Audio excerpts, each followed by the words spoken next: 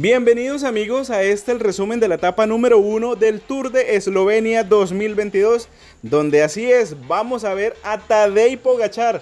Amigos, ha regresado a competencias después de dos meses de no hacerlo y es que este año tan solo ha competido 19 días, así que esta competencia que se corre pues en su país le va a servir como preparación para ese Tour de Francia, esta eh, Tour de Eslovenia donde vamos a tener la participación de también corredores latinoamericanos como es Santiago Umba por Colombia y el corredor Nicolás Seller de Brasil.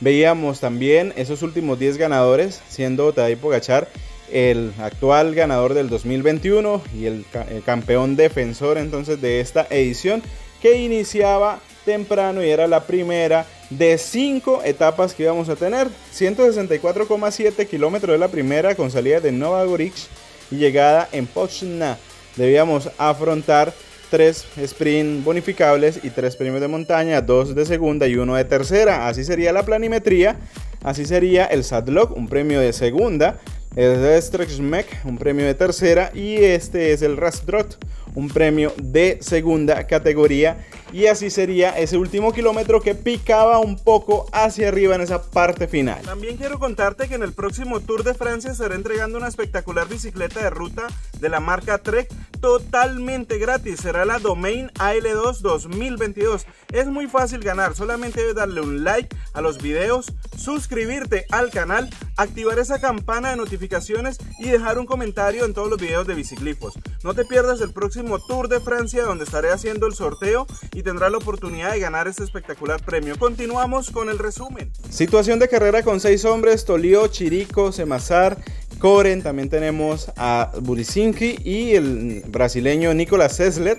Tiene una ventaja de un minuto con 30 segundos con respecto al pelotón que estuvo siendo tirado prácticamente esos primeros 40 kilómetros por el UN18 Emirates de el señor Tadej Pogachar. Lo veíamos allí entonces el pelotón siendo tirado por toda esta escuadra, pero también no solo tirarían ellos, sino también el Bahrein Victorious daría hoy una muy buena imagen. Imágenes que siempre vimos durante toda la etapa, pues al señor Tadej Pogachar es la figura del país, es la figura de mostrar, así que pues estaban allí presentes dándole ese eh, momento de cámara y seguía tirando el UN18 Emirates, seguían pues, llevando un buen ritmo de tal manera que ya les estaban quitando ventaja y tan solo ya les restaba 40 segundos cuando se presenta allí una caída por fortuna eh, se logran incorporar dos corredores allí que habían salido afectados uno del Eolo y se habían entonces pues parado y había continuado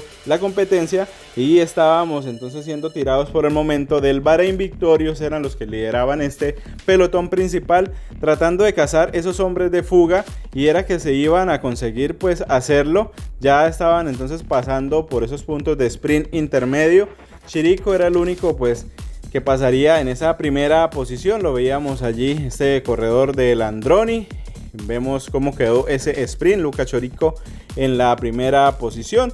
Veíamos también a Nicolás Sessler en la tercera. Y ya aquí viene el descuento y le van a cazar a los hombres que estaban en fuga. Los han cazado. Y es que, ojo, porque falta 60 kilómetros para meta. Y el ritmo es demoledor. Y el ritmo se formó porque hubo allí un alboroto del Bahrein con el UNA y se fueron adelante. Ojo con los que se fueron acá estos tres corredores. Estamos hablando pues, de Tadej Pogachar, de Rafael Mafka y también tenemos a ese corredor del Bahrein Victorious, de Novak. Se han ido los tres y son los que están pues escapados. Se van con toda, no quieren dejarle nada a nadie. Y es que Tadej Pogachar atacando prácticamente 60 kilómetros de meta. 75 kilómetros por hora es la velocidad que tienen estos hombres allí. Y los están perdiendo nada más y nada menos que Matek Mohoric y Sam Bennett. Este corredor último también que se está presentando allí pues en esta edición. Se forma ese grupo, el líder de cabeza de carrera con Pogachar, Mafka y Novak. No dan tregua y las ventajas que están teniendo es hasta un minuto con 40 segundos. Y va el pelotón totalmente estiradísimo. Y adelante es preocupante porque aquí pues está tirando en algún momento Pogachar, está tirando también en algún momento pues Mafka, pero el que no tira pues es el corredor del Bahrein y se va a formar ya los últimos kilómetros, van con toda y preocupante porque veíamos que ya se acercaba los momentos de remate y no soltaban pues, a este corredor Novak.